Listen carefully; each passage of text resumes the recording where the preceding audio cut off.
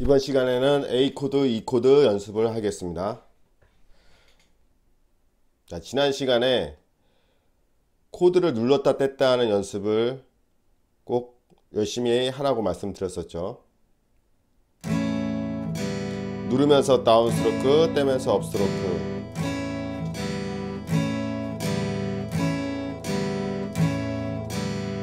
또 E 코드도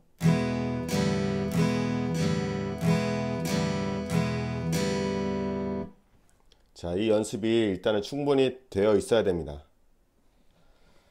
자, 그러면 A 코드와 E 코드를 이미 외우셨다는 가정하에 왼손하고 기타 지판만 보시고 A 코드 한번 누르고 down stroke 떼고 up stroke 그 다음에 E 코드를 누르면서 down stroke 떼면서 up stroke 이 연습을 일정한 속도로 반복해 주시면 됩니다.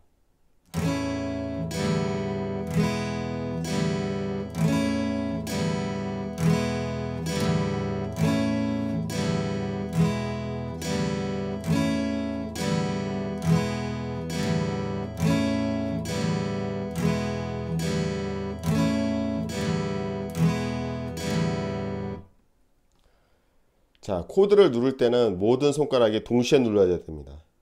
코드를 하나씩, 손가락을 하나씩 누르시면 안 되고요. 뗄 때도 하나씩 떼는 게 아니라 동시에 누르고 동시에 떼야 됩니다. 이 코드도 마찬가지고요. 동시에 누르고 동시에 떼고. 자, 이 연습이 충분히 되시면 블로그에 있는 자료를 다운받아서 그대로 연습을 하시면 됩니다. 보통 네 박자씩 연습하시게 되면 코드가 네 방마다 바뀐다는 가정하에 이렇게 연습하시면 됩니다. 하나, 둘, 셋, 넷. 넷 할 때 왼손이 코드를 떼어주시면 됩니다. 물론 이제 그 다음에 코드가 바뀔 때를 얘기하는 겁니다. 그 두 번째 마디에도 같은 코드라면 손을 뗄 필요는 없겠죠. 그래서 예제 첫 보시면 네 번째 박에 빨간색으로 표시한 게 보이시죠? 그 타이밍, 네, 앳 하는 타이밍에 왼손을 떼주시면 됩니다. 자, A 코드와 E 코드를 해보겠습니다.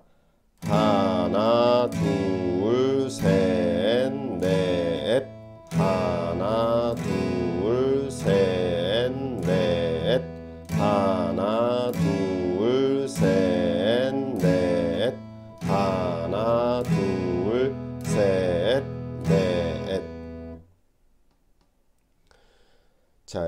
그래서 그 네 번째 박의 뒷박자, 그 반박자 타이밍이 코드를 바꿔주는 시간이 되는 겁니다.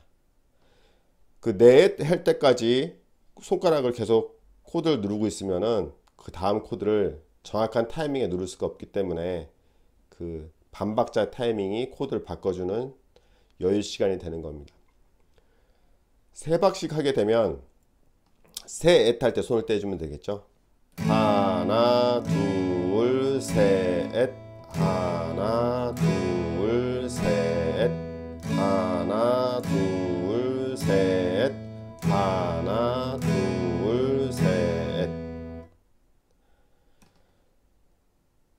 자 일정하게 치는 거기 때문에 계속 손을 보고 정확하게 누르는 연습을 꾸준히 해주시면 좋습니다.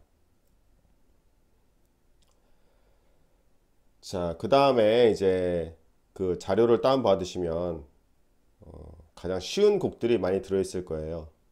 뭐 엄마 돼지, 아기 돼지부터 해가지고 음, 부르기 쉬운 동요들이 주로 많이 있습니다. 자, 처음에는 노래를 안 하셔도 되고요. 박자만 정확히 세면서 쳐주시면 됩니다. 예, 보시면 마지막 마디에는 4분음표 두 개와 2분음표 하나가 있으니까 네 번째 박은 치지 마시고 하나, 둘, 셋, 넷 이렇게 박, 네 번째 박은 박만 세워주시면 됩니다. 박자를 세면서 연주하는 게 익숙해지시면 그 다음부터는 노래를 하면서 연주를 하시면 됩니다. 자, 잘 모르는 노래도 있을 텐데 그럴 때는 유튜브를 검색하셔가지고 노래를 어느 정도 숙지를 하신 다음에 기타를 치면서 노래를 해주시면 좋습니다. 자, 동요들이 많기 때문에 좀 유치하다고 생각하실 수도 있는데 보통 가요나 팝송들이 그 멜로디가 어려운 게 많으니까 그때 가서 노래를 하겠다고 생각하면은 생각보다 입이 잘 떨어지지가 않아요. 그래서 쉬운 노래 할 때부터 노래를 부르는 연습을 해 주셔야지 나중에 부르시고 싶은 노래를 할 때 잘 됩니다. 그리고 노래는 노래대로 이미 연습이 끝나 끝을 내놓으시고 기타를 또 따로 연습하시고 그 다음에 같이 연습을 하시면 됩니다. 노래를 제대로 모르는 상태에서 기타를 연주를 하게 되면은 기타 연주까지 박자가 잘 안 맞게 되니까요. 어, 노래부터 확실하게 익혀 놓으시고 기타 치면서 노래를 하시면 됩니다. 자, 지금은 거의 박수 치는 거랑 똑같죠. 코드 소리는 나고 있지만 우리가 노래를 할 때 계속 박수는 일정하게 치게 되잖아요. 그래서 그것과 마찬가지 방식으로 연습을 하시면 됩니다. 어, 앞에 처음에 나온 노래 중에 뭐 엄마 돼지 엄마 돼지 아기 돼지가 있... 자 노래를 할 때 보통 한 박자마다 박수를 치게 되죠 이렇게. 토실토실 아기 돼지. 젖달라고 꿀꿀꿀. 엄마 돼지 오냐 오냐 알았다고 꿀꿀꿀. 자, 요 박수 치는 거를 기타 코드로 대신해 주시면 되는 겁니다. 토실토실하기 돼지. 젖달라고 꿀꿀꿀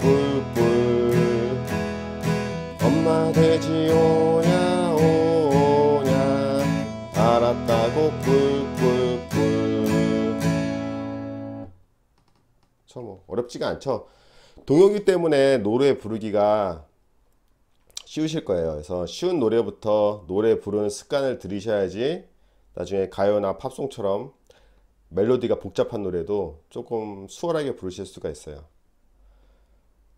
아, 자료에 다른 노래들도 많이 올려놨으니까요.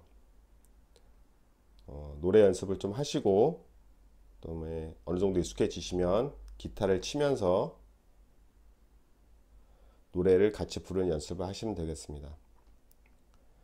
어, 노래를 여러 곡을 올려놓은 이유는 한 가지 노래만 하면 좀 지루하실까봐 수준은 다 똑같아요. E 코드하고 A 코드밖에 나오지 않기 때문에 하나만 잘 하시면 또 다른 노래도 기타 치는 건 문제는 없으실 거예요. 그래서 충분히 연습하시고 어, 다음에는 이제 E7 코드에 대해서 연습을 할 거니까요. E7 코드도 미리 연습을 해 두시면 좋습니다. 자, 이 연습을 이제 어떤 선생님은 손을 오픈한다고 말씀하시는 선생님도 계시고요. 어떤 선생님은 눌렀다 뗐다 하는 거를 잼잼 연습이라고 말씀하시는 선생님도 계시더라고요. 뭐 애기들 어릴 때 손 주먹을 주었다 폈다는 걸 잼잼이라고 하잖아요. 뭐 재밌게 이름을 붙이는 선생님들도 계신데 용어는 중요하지는 않지만 그래도 용어를 아시면 뭐 기억하기도 쉽겠죠. 그래서 코드를 눌렀다가 뗐다는 연습을 기본적인 앞에 배웠던 강좌에서 배운 코드들을 미리 연습해 두시면 초반 진도를 상당히 빨리 뺄 수가 있습니다. 자, 그리고 이제 앞 지금 나오는 앞보에 보시면 첫 번째 마디는 4분음표가 4개가 그려져 있고 두 번째 마디는 무슨 퍼센트 표시 같은 게 돼 있죠. 그게 어떤 표시냐면 앞에 연주하고 똑같이 연주하라는 뜻이에요. 그래서 앞에서 A 코드가 둘, 셋, 넷, 돼 있고 뒤에 퍼센트 표시가 돼 있으면 똑같이 연주하시면 돼요. 똑같이.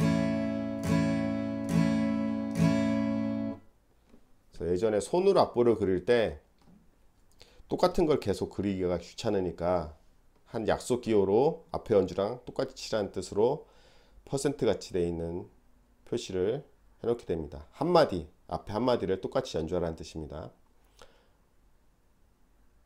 자, 이번에 나오는 악보는 똑같이 퍼센트 표시가 있는데 위에 코드만 다르게 적혀 있죠. A 코드 적혀 있고 그 다음에 퍼센트 표시처럼 되어 있는 거는 E 코드가 적혀 있어요. 그럼 연주는 똑같이 하되 코드만 바꿔서 누르시면 돼요. 셋, 넷, 하나, 둘, 셋, 넷, 하나, 둘, 셋, 넷, 하나, 둘, 셋, 넷. 자, 여러분들 기초 연습을 하실 때 초보자분들 앞에 강좌에서도 말씀드렸지만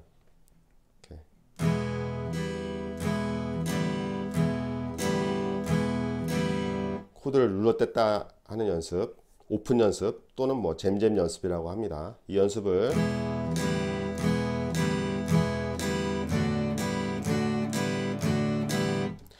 기본 코드들은 이 연습 미리 꼭 해두시면 좋아요. 그럼 진도를 상당히 빠르게 나갈 수 있으니까요.